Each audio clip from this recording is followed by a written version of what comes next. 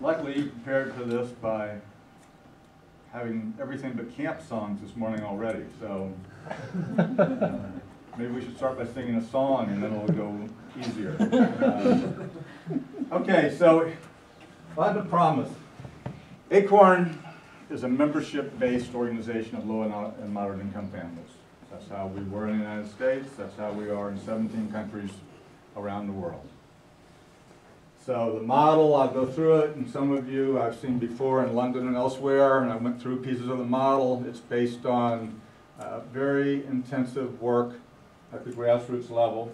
We also organize uh, in both communities and labor situations because increasingly uh, in the modern world we live in, it's very difficult to distinguish people's work from the rest of their lives. Many people work where they live and live where they work, particularly in places like India. Um, That's the way it evolves. Okay, what's next? So here's what we have in Acorn International now. We have 100,000 dues-paying members.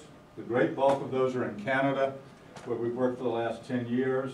But it also includes things like we have 10,000 members of uh, a union in Bengaluru, which uh, you may know as Bangalore, India, which are hawkers, street vendors, food vendors, uh, dock workers, security workers.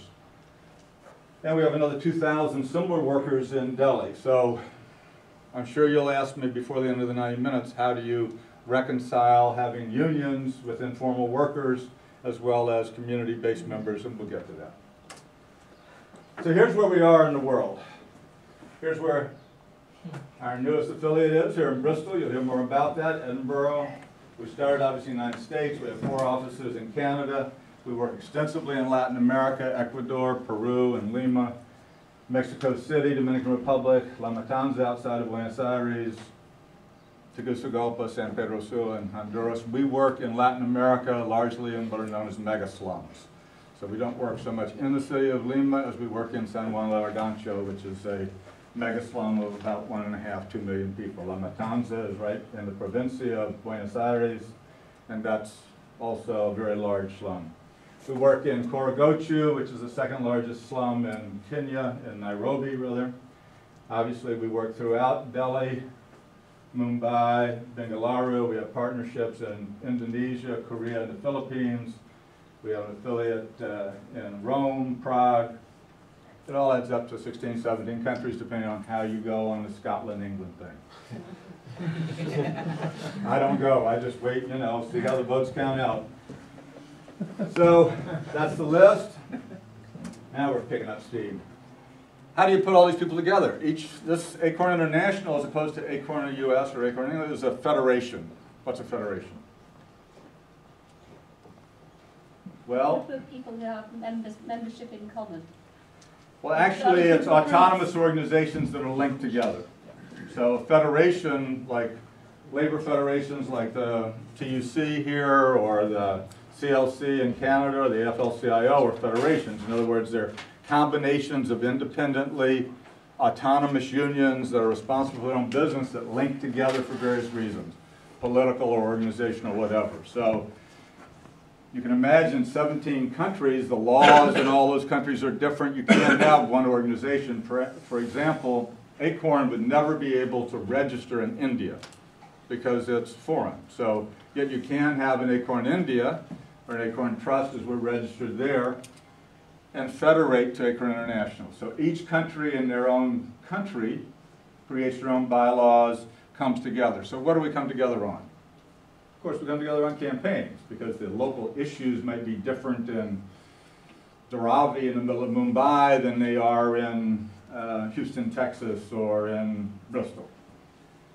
What has brought us together on campaigns, particularly over the last couple of years, and Acorn International is now about a dozen years old, are things like rem the Remittance Justice Campaign. People are familiar with remittances. Remittances are money transfers, particularly from migrant workers and immigrant families, back to their families and home communities. Mm-hmm. It adds up in Latin America sometimes to the second, third, or in El Salvador, even the first largest part of the general of the GNP. The problem with remittances is that it's a predatory financial mechanism most times, which makes billions and billions of dollars for banking institutions and money transfer organizations like MoneyGram and Western Union, Basically because countries don't care if you steal from migrants and from immigrant families, many of whom are not citizens. So the fact that banks that are domiciled here, whether it's HSBC or RBC or whatever, or in the US, are stealing immigrants blind doesn't really matter. There is a World Bank protocol and the G8 has agreed that the costs have to go down to 5% of remittances. How do you reckon they think that's going to happen? Banks, World Bank, all these countries, just take a guess. No. Competition. It's it's gonna be competition. It's gonna be the invisible hand of Adam Smith that somehow brings those rates down, convinces the banks, why do you really need to take 23, 25% from somebody's remittance from here to Kenya? I mean, come on, you can do, uh, you can do better. You know, so we have a campaign that says you have to do better. Um, I'll go into that at some other time. Digital divide, we all know what that is, right? 'Cause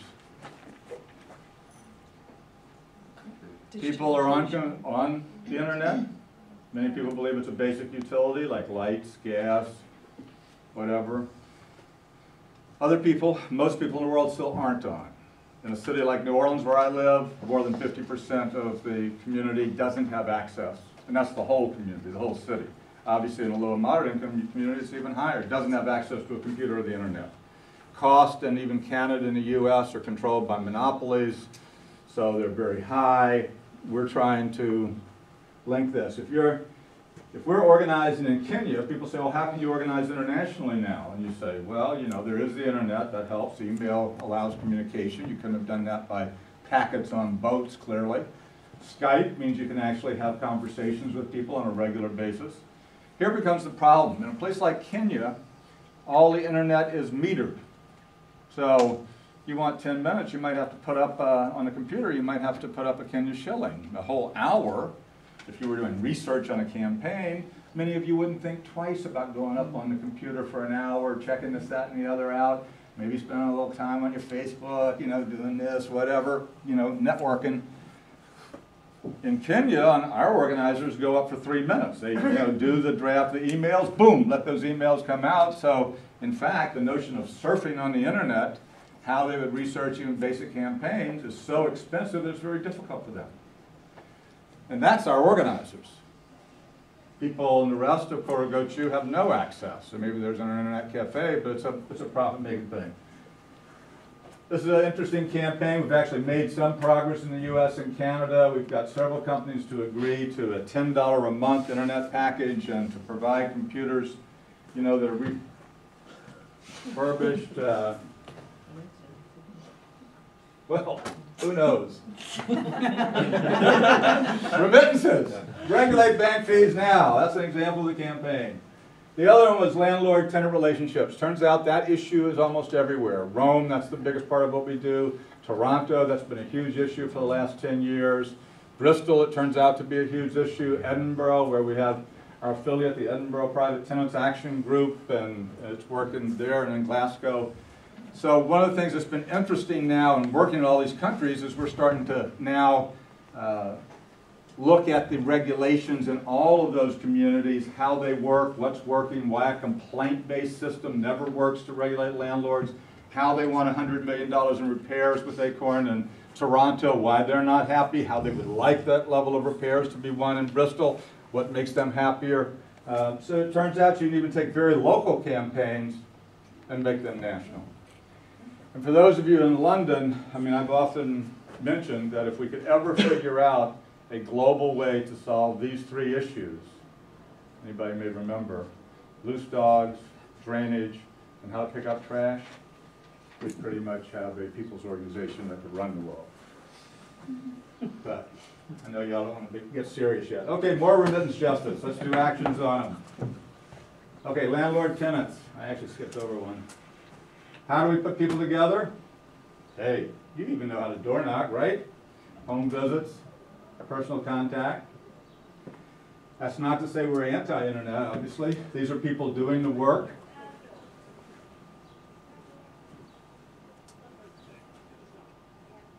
Here's our operation in India. We run, uh, as part of what we do in the neighborhoods where we organize and among some of the workers, we also end up running shelters in a partnership with the Municipal Corporation of Delhi for some of our members that are rickshaw pullers or auto rickshaw drivers and others who don't have, who end up frequently not having a place to stay or live in the slum. So this is a night facility for uh, migrant and men workers.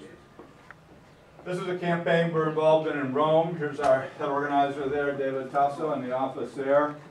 We won, we've been exploiting an issue where if you turn in a landlord who's been operating on the gray side, which means they haven't recorded their property for taxes, through a unique loophole we found in a law in Italy, if the tenant turns in that landlord successfully and registers the property, they pay a small amount of back taxes, but essentially for the period of an Italian lease, you get a rent reduction to only pay ten to fifteen percent of what your rent was. So if you were paying a thousand euros, I don't wanna mass shame anybody, but you'd only be paying like a hundred or hundred and fifty euros a month. And what's the period of an Italian lease, you reckon? I know leases in Bristol are very short, aren't they? Yeah, Six months or something, ridiculous? Well, what do you reckon they are in Italy? Five years? Who's at five years? Okay, let's go with five years. Anybody else? Forty. Seven years. Okay, okay, well, okay, well, now we're having some fun. Four years is the base lease, and the tenant gets a four-year option to renew, so it's eight years. So, if you did the math, if you're saving, let's say, eight hundred dollars a year for eight years, that's roughly, you know, ten thousand bucks. So then you've got a landlord and a tenant. That's what you can say. Gee, sorry. Surely already have. But the landlord was basically against the state. They weren't paying taxes on that property. So the state passed the Italian parliament. you're the tenant living in that property, the landlord that knows what you've done and things can They don't live be together. uncomfortable. No, but things can be uncomfortable, so, you know, Right, you have to decide whether you're gonna have, save eighty thousand euros or whether or not you're gonna make your landlord happy. That, that is, you're right, that is, what- no, that's exactly right. And we have that conversation with lots of people. So you would think, oh, I bet students jump all over this. No, students don't touch this because they figure, hey, I'm only here for a year or two, it's a wink and nod. They'll look, uh, you know, the landlord will give me a ten percent reduction, I just won't get in trouble. So it's working families who can't afford those rents, who are still trying to live in Rome, Milan, Palermo, Palermo, wherever.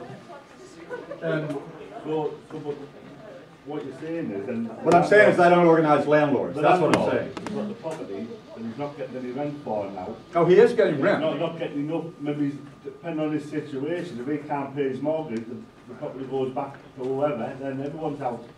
And the tenant hasn't got, you know, so the property then becomes non-valuable if that tenant keeps that right of all them years, who's gonna buy that property to keep the tenant in on such low rent at the price? I guess, I guess. I guess we're not gonna talk about this right now. Now, if we have more, no, I mean, this is fair enough, but this is not a discussion on landlord rights.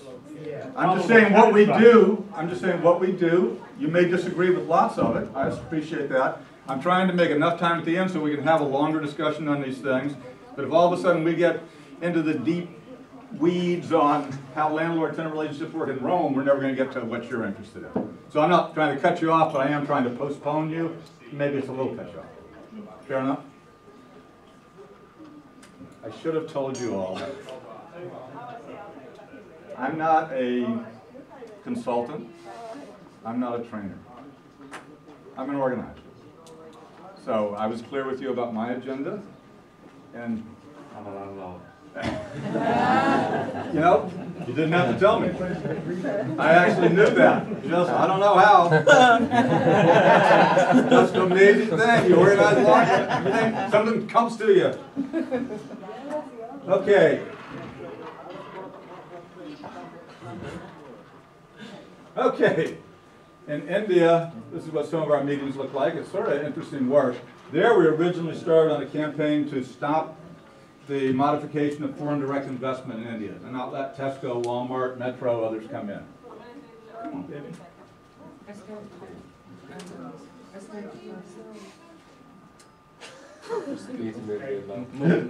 Okay, okay. Come for that help Come. higher. Cheers, Paulette. You see, okay. Yeah, I, I'd love to help. Oh, that one. There you go, get that arrow over here to next. That arrow is not wanting to make all. Press escape. Press I'd like to escape. thank my lovely assistant. Oh, yeah. Paulette. Hey! Okay, Ecuador, here's what it looks like. Let's, okay. Here's what Edinburgh looks like. Here's one of the first meetings. That's their fla- their banner. Here's one of their actions. Gas prices, too high. I'm sure there are people here who own gas companies who want to take it. Once again, fair is fair, just like I told the landlord brother. After, there's gonna be a time for the land, for the gas owners to. Here's some of the very able door knocking team. You know, the This is. Bristol representing. Huh? This is Bristol representing. Oh, is this Bristol? It is, yeah. Okay, I'm, I'm now into Bristol. Here's the first meeting of Bristol uh, Acorn Group in Easton. Good crowd, 100 people. You'll hear more about that, and Louis and them will talk about it. Here's some actions in Canada, just to give you a feel of what people really do who are Acorn members and who want to get something done. Here's where they wanted a washroom at the uh, tenant offices. I don't know why. Here's where they wanted, uh, in Ottawa, it gets cold in Ottawa. It's not lovely like here. And here's where they want to uh, get work orders to do repairs, once again, with those damn landlords. Mattress action, that's a little creative. You have to little- have a little imagination. They're trying to get uh, longer-term addiction recovery centers. So they're basically trying to pick the point that people are in flop houses, just shooting up, you know. It's an issue.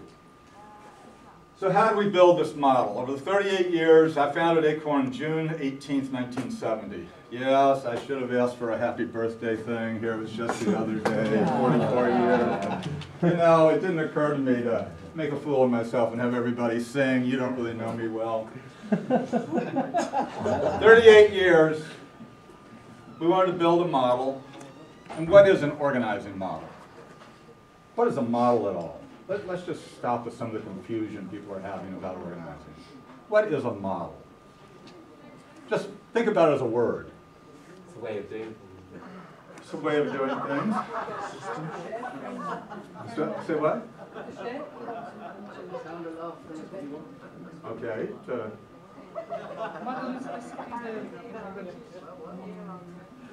the guidance, like how to well, all those things are true, but a model is also something that works. Okay?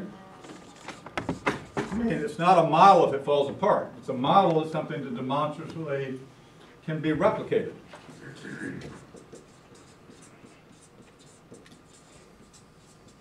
A model is something where you can predict the results. Now, if we talk about an organizing model, you're talking about something that Rob could do, something that Nick could do, something that Paulette could do, and you could, it might be different in every place, it's different in Mumbai or New Orleans or, you know, London, but within some frame of, you know, the difference is a matter of degree, it's not a fundamental one. If you do the basic work of an organizing model, you can say something will happen. So the one thing we know about the Acorn organizing model is there'll always be a community organization that emerges at the end of it.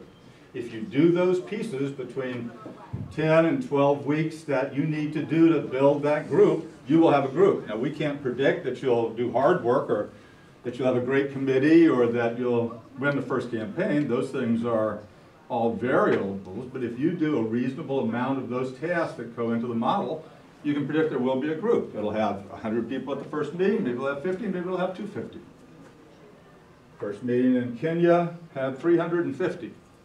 Some of the first meetings in India are huge, but they have, you know, there's a different kind of cultural dynamic that, dr- that drives organization in some of these places. But a model, nothing is a model that isn't replicable. Nothing is a model that you can't predict within some level what the, what the area of success will be. And a lot of people throw words like models, movements, etc., out like they were candy. those, those, they really aren't. But I don't want to get off the subject. Our model focused on low, moderate income people. We don't, as, as I told my friend here, we don't organize the rich. We don't organize businesses. We don't organize landlords. We organize low and moderate income families. They happen to be a lot of people. The majority, in fact, of almost every community that we've ever seen. We try to build mass-based organizations, not small organizations. We don't organize clubs. We organize groups as big as they can possibly get. We're membership-based for two reasons. One, because we believe in a democratic organization where members are led. I keep getting confused when you all talk about volunteers. A volunteer is somebody who helps us organize. A leader is somebody who's a member in our system who's elected as a leader. I gather when you all talk about volunteers, those are somewhere between leaders, members, and volunteers? I'm not really sure. Maybe? Okay. So, direct action. You know what, you know what direct action is. In other words, you saw pictures from Canada. When people have an issue, try to deal with the campaign, they will keep accelerating the level of actions in that campaign persistently over time until they win. Multi-issue, we're not just a tenants group, we're not just an income maintenance group, we're not just a housing group, we're a group that deals with the democratic issues that are approved by those local groups. We're- were rare starting in 1971, 2, um, in that we were a nonprofit, we were not tax exempt, and the reason was we never wanted there to be barriers on what our membership could democratically decide. So the notion that an organizer would have to get up in the back of the room once members said, well, you know, the mayor's not giving us what we need, or the governor's not doing what we need, so we're gonna oppose him at the next election, to have to get up in the back of the room and say, oh, gee, you know, I hear what you're saying, but Acorn can't do that. So, we didn't do that. They would, oh! I've learned one thing. Um, So we, there are no boundaries, in other words, for the Acorn membership. If they wanted to get involved in politics, boom, they were in politics. If they wanted to, you know, build a housing corporation, boom, they did that. If they wanted to organize labor unions, boom, they did that. In coordinated autonomy, that's the way Acorn International works, it's also the way Acorn in the US works. Each group within their jurisdiction has the hundred percent autonomy to make a decision based on its members. Once they need help from the other groups, let's say if you wanted to, in Easton and Bristol, they can do whatever they need to in Easton, but if you have to bring an issue to the Bristol council, you may need other groups, once they're organized, to agree with you, then you have to coordinate. Then you have to have a overwhelming majority of all the groups in that political jurisdiction agree with you, state, national, provincial, whatever it is, okay? How did it all start? So I started as an organizer when I was 20 years old. That's how you get a lot of years in. You figure out what you're gonna do, find out that you're not too bad at it, just keep on moving. And it's really something you have to do every day. Um, So I started when I was 20 years old in Massachusetts, which is a state up in the New England area of uh, the United States, and organized welfare recipients. Those are people, I guess you would say, on the dole. These were mainly women with children who were on a program called Aid to Families with Dependent Children. And we believed the radical thing that you had a right to welfare. It was in the law, you had a right. The law said it, let's get it, you know? Acorn, boom. Okay, here's where it started, 1970. First time I ever went to New York to try to raise a little extra money was in 1974, and the first time I walked into a funder's office, she had to ask the secretary to come show her a map and tell her where the hell Arkansas was. You know, that's that kind of a state. It's not big. It's two and a half million then, now it's about three and a half million. It's in what's called the southern part of the United States. The nice thing about it was, for building what I was building, Little Rock was the capital, which is where we started, was the center of the state, and also the capital, which meant it had political jurisdiction. And it was a poor state. A lot of issues we dealt with ran that way. 1970, 1980, in five years, we decided to expand to 20 states where we were organizing within 80 years. Within, by 1980, within 80. Because we wanted to expand, once we started expanding in 1975 out of Arkansas, because there started to be a demand from other people to do the same issues we were involved in, just as we've done internationally. we wanted in the 1980 presidential election to be able to demand on all the candidates for the United States presidency that they had to create programs to benefit low and moderate income families. So by 1980, this is where we were. We started in Arkansas, went to the rest of the southern states, other than Mississippi and Alabama, went west. Not so much at that time in the New England area or in the Midwest. That's some of what it looked like. There are a lot of organizations that became part of the family of Acorn organizations. There are 600 community organizations that were in every one of those states. You probably can't see, but the only states we didn't get to by the time I left were, uh, not enough people lived in the upper west and plain states, and the New England area is just boring to me. Um, I'm sorry, I know, uh, we organized in Massachusetts and Connecticut, but like the Maines and New Hampshires, uh, I really don't know what happens up there, but there aren't that many people, so. I'm sorry. Okay, this is some of what we do. These are actions at various state capitals. San Diego, there's DC. We also ended up organizing labor unions starting in 1980. We organized 880 in Chicago, Local 100 in New Orleans. This is a campaign we organized to stop Walmart expansion, and we organized Walmart workers into a, a labor association in the U.S. Okay, here's the convention. We organized three radio stations. We still operate uh, KABF in Arkansas, it's 100,000 watts. Soon there's going to be a Bristol show, a Scotland show, and one in Dallas and one in Tampa. We got a housing corporation. 8,000 people got new homes every year. Home ownership, we had 35 offices around the country. Did 50,000 taxes a year, saving people $20 million a year by the time I left. So why do you build a big organization like Acorn? Because it really is easier to polish the pearl in one neighborhood. You know, just burrow into that neighborhood, build a, a lot of civic awareness, build a good membership in one neighborhood. And you can imagine, a lot of people have always said to me, why not just go deeper in that one neighborhood? Why spend all this time, energy, and resources to try to build national and international organizations? Those are good questions. We're gonna actually spend some time on these questions. But let's look at why Acorn did it in the US. So, for example, living wage campaigns. We did 150 living wage campaigns. I've actually met at different times with citizens here about living wage campaigns, so there is some understanding of what a living wage campaign is. It's an attempt to force wages, minimum wages to go up for workers, right? There are two ways to do that. One is through contracts, or what are called prevailing wage agreements. The other is geographically, to try to get all the wages in an area to go up. We actually like the second better, trying to get increases for entire cities, counties, or states. So we actually, by 2006, were putting minimum wage propositions on the ballot in a number of states. Uh, In just looking at four of those states where we won those propositions, Ohio, Colorado, Arizona, and Missouri, here's the vote count. Can anybody read this? So we kicked their ass. That's an American expression, I'm sorry. Um, I don't know if you get the opportunity to use that expression much in your work, but it's an important, yeah, I can't tell you how good it feels. Um, So, Ohio, they fought us cats and dogs, boom, we got two million votes. Colorado, 753 percent.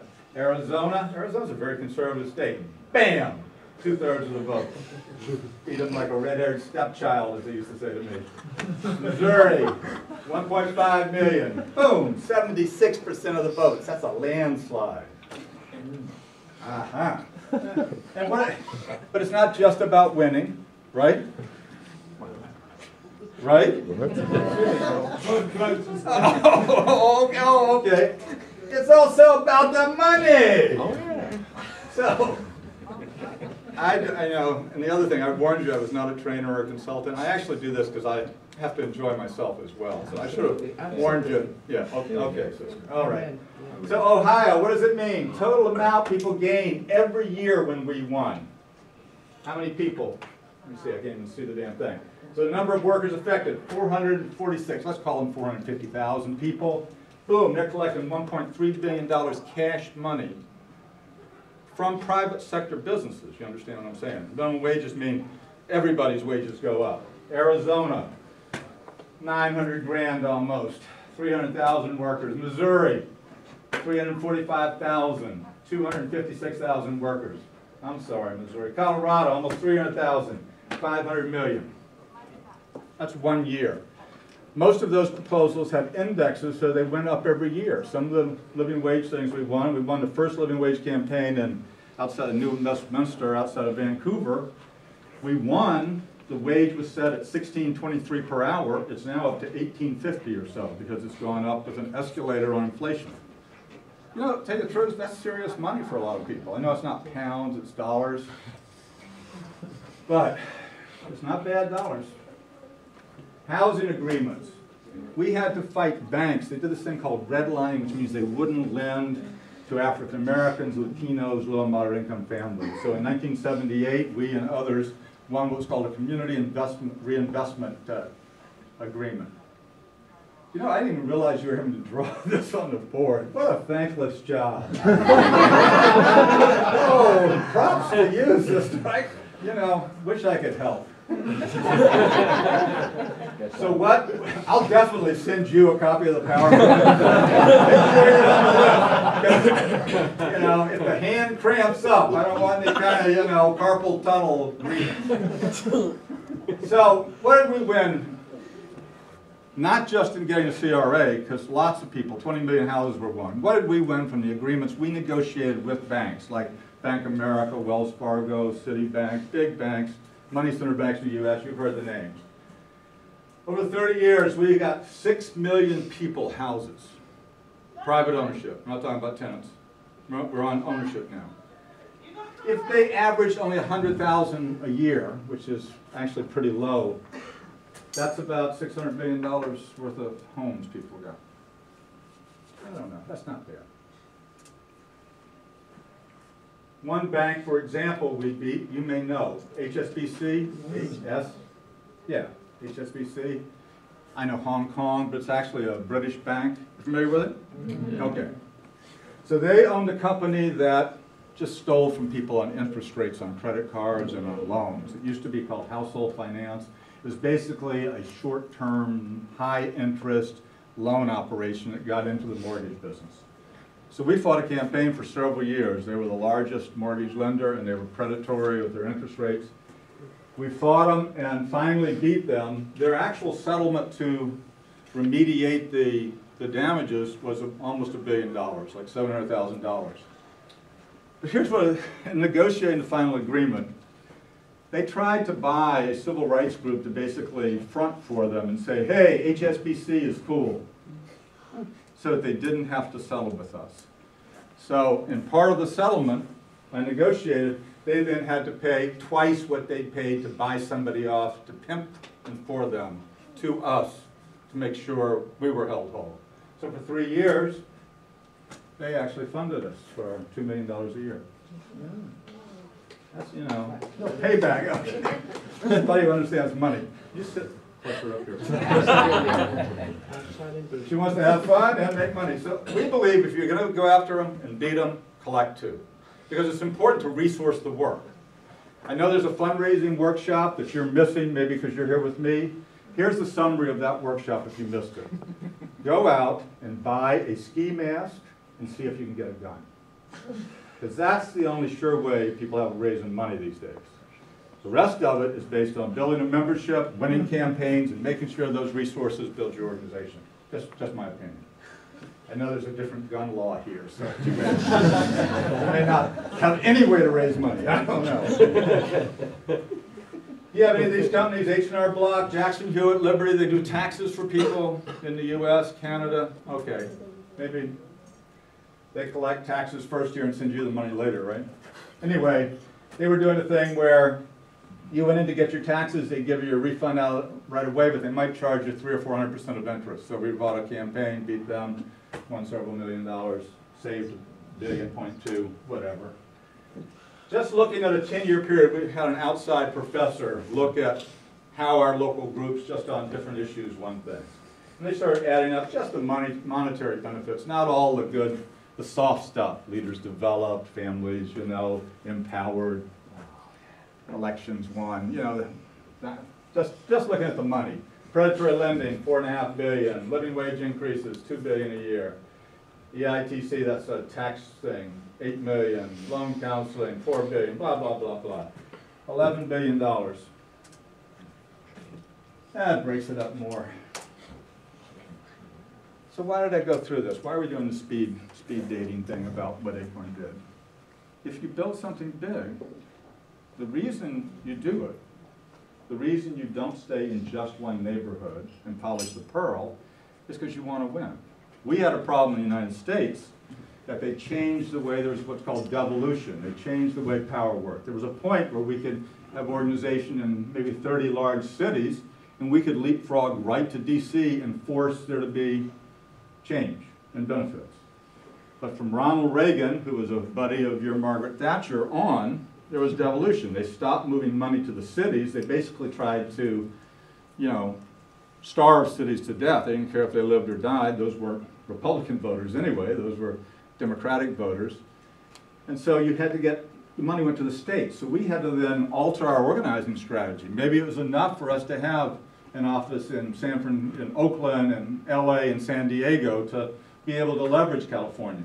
You have devolution, then you've got to win at the legislative level in campaigns in California first before you get to DC. So then we had to have 13 offices in California. We had to have 11 offices in Texas. We had to have eight offices in Florida. We had to have six offices in Ohio. It meant you had to drastically expand so that we ended up, by the time you saw some of those later victories, having 100 offices around the country, an organizing staff of 1,500. And that also includes the labor organizing staff and the housing people and everybody else. And you ended up with a big organization, but Acorn at that time had a half million members for low and moderate income people. And my argument is, why do we do that? What does it all mean? Well, one of the things it meant in a very simple way is that when our membership was attacked or devastated, we had a way to deal with that. And this is why you build a membership organization as opposed to something, you know, more ephemeral. Hurricane Katrina, many people have heard about it. Big bad thing hit New Orleans. We had our national headquarters in New Orleans. I still live in New Orleans when I'm there. Well, when I'm there, I live there, whatever you say. Um, so they, 85% of the city flooded. It was particularly had adverse consequences. New Orleans was, a, was, is a city at that time, more than two-thirds, about close to 70% of the population was African American. It was one of the poorest cities in the country per capita income, of the top 50. It was at the bottom with Miami. Um, so you probably read, they just sort of washed people around the country, and we still are trying to get 80,000 people back home. But what made a difference in fighting Katrina is having a membership, we actually knew where people were. Now, if we'd been a coalition, we might have known where people went to church or where a minister was relocated or something, but we couldn't have found the members. But as a membership organization, we ended up in the rare position of being where people knew to come if they wanted to rebuild. So we ended up doing, this is a, a house gutting operation. First, we had to stop whole neighborhoods from being bulldozed where lower income families live. Because they wanted to just make housing tracts into green space. And I understand green space is important, it's becoming a big thing, and there's a lot, you know, green, we want, we want things to be green. But not, we don't want things to be green where we live. I mean, we want to live by it, not nowhere near it. And that was their sort of thing, they were going to depopulate the city. Particularly in the lower ninth ward. And even now in the lower ninth ward, August 29th, ninth year, only 20% of the population is back. But we were able to have a huge impact as a membership organization as our members came first to the office to try to save their house, put together what they needed to prove that they could rebuild, get the loans, rebuild their organizations. And the plan that would have not allowed them to build meant you had to elect a mayor and a city council. And of course, we knew not only where our members were, but where they'd relocated in Houston, Dallas. We literally had to bring people in buses back from Atlanta, Little Rock, San Antonio, Dallas, Houston to vote in the election to make sure that we were able to rebuild. So, why do we do this work? What does it mean to be an organizer? If you listen to what I'm talking about. Make a difference. Make a difference. So it's about, and that difference often has to do with change. upgrade standard of living. It has to do with citizen wealth, giving people income security, improving their standard of living, because that's one of the things members want. And, you know, when people want to improve their standard of living, it's hard to win that at the neighborhood level. Everybody in the neighborhood might say, let's give ourselves a raise. Okay, so what do you, what do you do then? And you know, you could say, Wade, you were crazy. Why didn't you stay in those 32 offices? Why did you have 100 offices in the US? Well, what I know, and I know about this much about how government works in England, but a lot of stuff you can't get done at your neighborhood and city level, can you? You have to go to Westminster, like we would have to go to DC.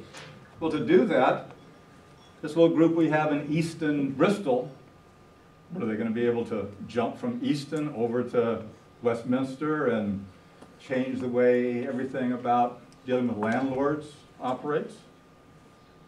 Maybe, maybe, maybe it's, you know, lightning strikes, everybody will like, you know, glom onto Bristol, they're cute people, it's a nice town, they like the hills, whatever. You know, Banksy was from around there. So, yeah, miracles do happen, um, but they don't happen much. So what we do, and if you're going to call yourself an organizer, you really have to organize something. And the only thing I know that we do as organizers is organize organizations. I mean, I don't know how you separate the word organizer from organizations. And organizations are important as collective responses to create change. And you can't create change without power. I picked up a booklet, and this is not to be, you know, pejorative at all, about case stories of, of all the work y'all do. And of the 20-odd case studies, there are only a couple that really focused on how you win change or power. Yeah, if you've seen this, it's, a, it's actually fascinating. And all of the work that people did was good work. But as, as in a very irreplaceable resource as community organizers with a program that isn't going to last forever, not to seize the opportunity to build organizations that might endure past your time as, uh, uh, you know, I never know what to call you, but as whatever you are, a big society, you know, representative.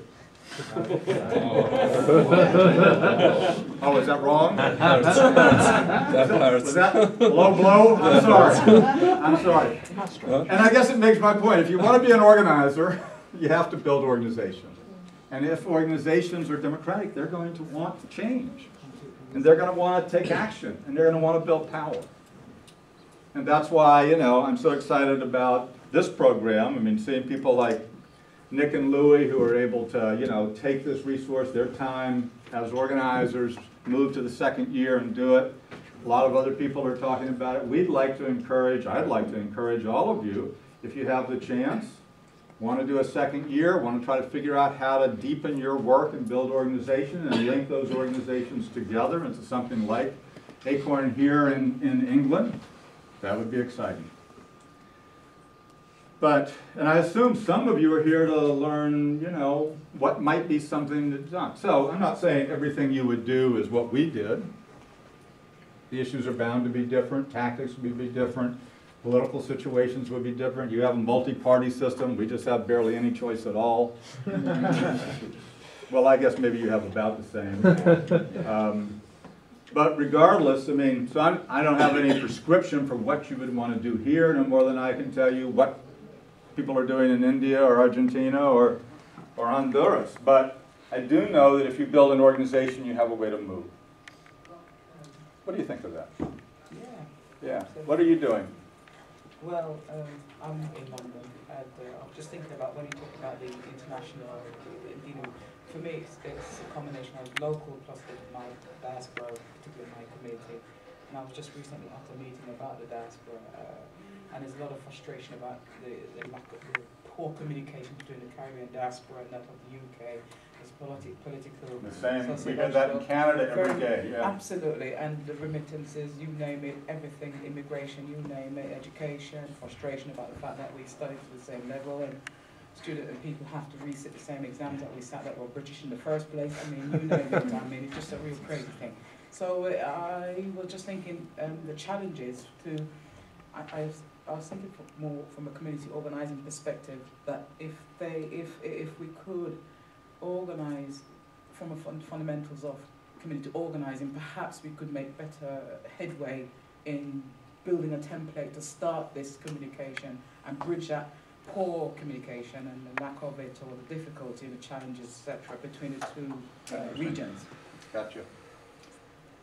It's Anybody else, how do you, how would you link some of what we're talking about with what you're trying to do? How is this helpful? Yeah, Well, I'm, I'm only in cohort 12, but the area I'm organising was the area that I was organising in to some extent.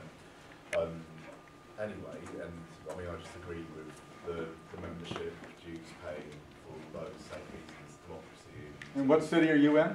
London. London. But, you know, very much northwest London. Um, and, yeah, I just think, I mean, I've been starting, well, we have a group that is affiliated to Unite Community, which is probably the closest thing that exists already. I mean, that's a new initiative, but it's existed for about two years and it's growing quite slowly, but there's probably about 7,000 members, like nationally, nothing super impressive and no big ticket victories as such, you know, which is a problem with the model. because Right, right. The amount of No, I've had discussions it with could them, have, right? it could have done that by now, really, and I think we're pushing, certainly, the London organisers to get you to come and do training on that. I don't know how, like, I'm not been sitting here thinking how Acorn Unite Community could work, but I mean, there are certainly things about Unite Community that uh, recommend itself to me just because of where it sits in relation to the political and power dynamics of um, this country. But yeah, I think as community organisers, I think we should feel empowered to say, you know, like we're allowed to sort of promote the vote, we're allowed to promote, do you know I mean, all sorts of kind of like things. Why is it that we feel like we can't promote actually stable, sustainable organisation? You know, so whether that's Acorn or whatever it is that people Right. to. No, yeah, I can't say it's like a- there's a barrier right, to that, exactly. so it goes against our model or something. We, we should. It's in the interest of our community, people will acknowledge that. We've got a long history of membership organisations in our community.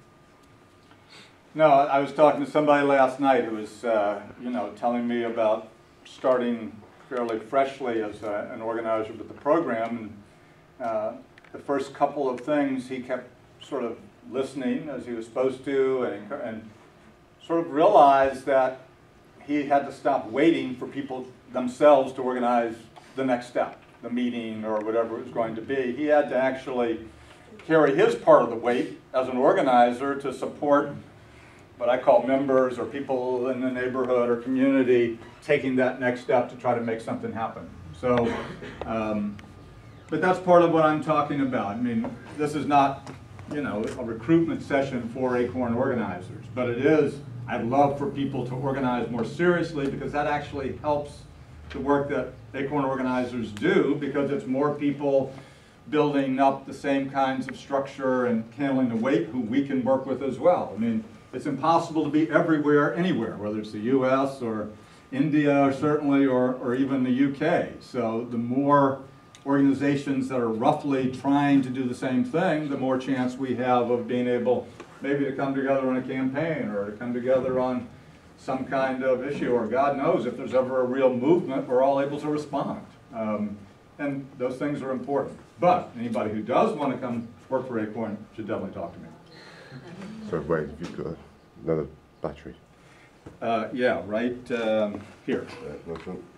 Yo. Yeah, I think you're asking about the kind of how we feel about the wider scale stuff and how we link that together. with I'm trying to, yeah, I'm trying to get, And yeah. um, I think the membership funding model is a really interesting one because a lot of people spend a lot of time towards the end of their year trying to figure out how on earth they're going to make this something you can earn a living from. Right. And I think for me that's something I would find it's an exciting idea, but I know I would find it difficult to ask somebody for money, especially somebody who's like struggling to feed their kid. Um, but uh, I'm not saying it's not worth doing. I'm not saying it's not the right, Right. thing to do. But I think that's the thing I would find the hardest was to ask people for money. especially because I know you, we, I was lucky enough to come for the whole day, and you ask a lot of people for, for money in the first 15 minutes. Oh, yeah, we get right to it. Very And I think I would- I would want to, I guess, learn how to do that, but I would find that difficult. And, you know, a lot of people find it difficult, and you were with me when I told the story. One of the great things I learned as a youngster reading a magazine, it's gone, probably gone out of business, called Sports Illustrated. You may have heard of a fighter, he was called Muhammad Ali, at that time he was called Cassius Clay. I don't know, fighting may not be a big thing. But anyway, he was fighting the existing world championship uh, against Sonny Liston in Lewiston, Maine. And Sonny Liston was called the Big Bear, and he was a massive guy. And here was Cassius Clay at the time, young guy, 21 years old or so, out of Louisville, Kentucky. And they were interviewing his lawyer, and they said, why did you think you could take this unknown fighter, this kid, Cassius Clay, and demand a 400000 which was big money back then, guarantee for him to fight the world champion, Sonny Liston? And the lawyer answered the reporter, you know, the problem is not asking for 400000 it's whether or not you stutter when you ask. And the real, the real truth is that in our communities, people know things cost money. They actually don't understand something that's for free. You probably, I would challenge you, if you really told the truth, have to explain to some people why you're not charging.